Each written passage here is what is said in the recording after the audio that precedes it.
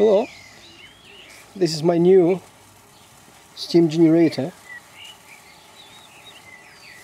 and it runs on wood.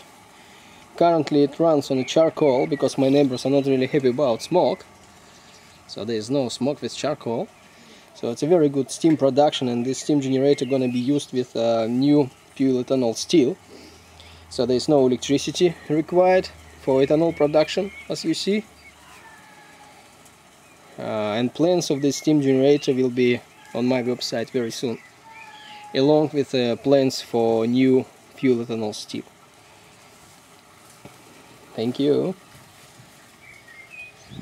Before I go, just show you what's inside.